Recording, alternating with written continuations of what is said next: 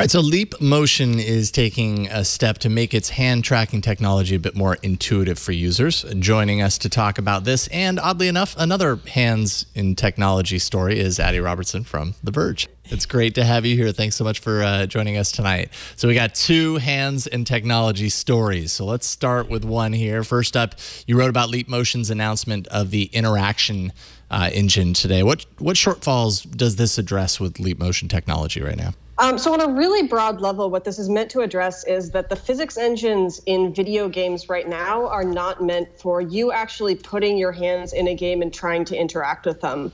They're sort of meant to detect collisions and make sure that things don't collide. But that means that if you're trying to grab something, that it might bounce away from you. If you try to run your hands through it or throw it, that it's not going to behave the way that you would actually expect an object you were picking up to behave.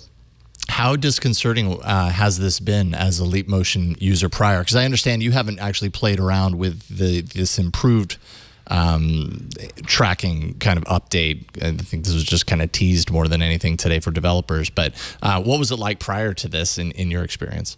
Um, so Leap Motion's been using what I understand is sort of a prototype of it in their previous demos. So I've tried a little bit of that and I've tried it beforehand it's really it's that a lot of the time leap motion will work perfectly well but then there's that one time in you know maybe 10 where you try to grab something and it just kind of slips out like soap um, or you try to stack one block on top of another and they really hate being together and so they freak out and fly all over the place um, which is bad because it's like if you have a mouse and that mouse didn't register one out of every so often clicks interactivity systems really have to absolutely be stable for them to not be incredibly annoying yeah, and some sort of connection. I mean, I imagine, you know, when you're in the virtual environment and things just aren't working, I mean, that totally removes you from the immersion of the experience.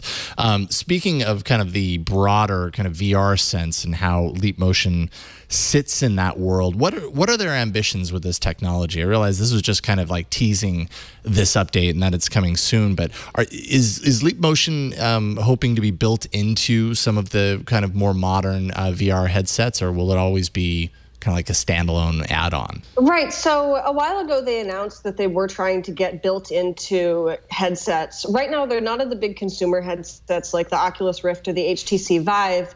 Um, but if you know what the Void headsets are, the uh, yeah. Rapture gear, they are in that, which lets you use your hands to sort of grab things in a temple um, and they're said they've said that they're working with other manufacturers. We don't know exactly what they're going to be in, but they definitely have ambitions to just be part of VR headsets and not a standalone or a headset mounted device. Yeah, they've certainly been doing it for a while when they kind of introduced this in laptops. I, I, can't remember exactly when it was, like four years ago, you know, before VR was even a thing that we were talking about on a regular basis. Um, are there any other usability issues that you've experienced um, with Leap Motion that could be addressed uh, in the future? So the big thing that they will themselves say about this update is that it's for very simple shapes, and that's a lot of what I've used Leap Motion with. Mm-hmm that for right now you can pick things up in this sort of controlled environment but if they actually put you in what was a realistic vr environment with a bunch of different objects of different shapes and sizes it wouldn't necessarily work that well. Um, i don't know how well it would work because i haven't tried it but it's something they're hmm. clearly still working on. So i think that's one of the next big steps who knows? Maybe they'll build an exoskeleton. Uh, Leap Motion is obviously attacking hand control without any additional hardware for the user to wear. But um, you also wrote today about Dexmo by Dexta Robotics. Tell us a bit about this exoskeleton for VR.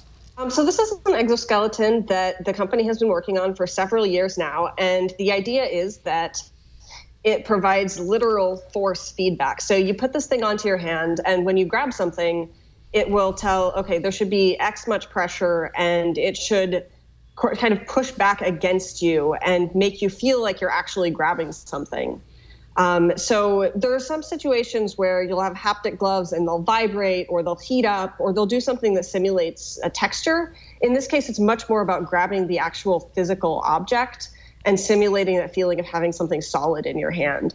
Um, I haven't tried it. I think it's kind of exciting and also a little bit scary looking. Is the, so I'm looking at the prototype right now. Is the resistance applied from the top, from those top levers? So in other words, you you go in the virtual environment to reach for a doorknob, and when your hand grabs the doorknob, those top levers will kind of keep your fingers from moving further forward. Is that how this works?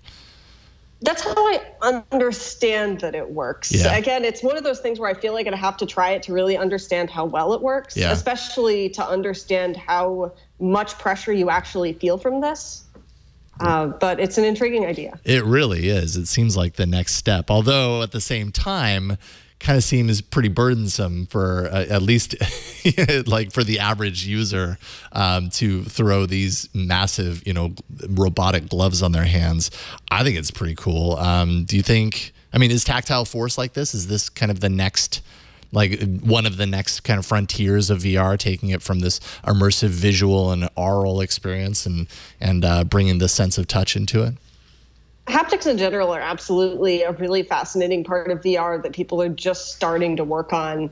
In this case, they're obviously thinking about consumers, but they're thinking more about like surgeons or, say, mm. people working in the auto industry and trying to design things uh, or anything that's big enough that you're not just kind of strapping this on to play games that maybe a company buys it and you're using it in an industrial capacity which is a really good uh, short-term plan for them sure is there any existing haptic feedback gloves right now in, in VR that's out for consumers?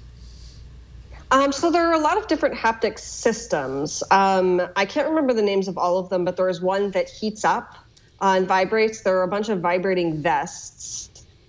Um, there are some very advanced systems that I think are mostly in labs that can supposedly simulate really specific textures um, like whether something's smooth or rough. Um, and that's much more on a, a kind of fine motion level. So you have a billion different ways that people are approaching haptics. None of the ones that I've ever tried have worked particularly well. They're much more interesting proofs of concept than they are products. Um, but again, it's just the start. Teslasuit by Tesla Studios is one. It's the full body haptic suit uh, with all yes, of these I different points and everything to yeah, simulate. Sounds interesting. Yeah, uh, the oh, big sorry. problem is that they just uh, it's so hard to find a good fit for all these things. Oh, I have to imagine. Yeah, it's, it's so specialized. How how do you fit this on on the wide kind of gamut of, of different shapes and sizes of people? Um, and, you know, as well having all that technology tightly packed in and everything. I have to imagine that's a huge challenge for for a bodysuit, especially. Mm -hmm. It's not like Ready Player One yet. Not yet. We're getting there.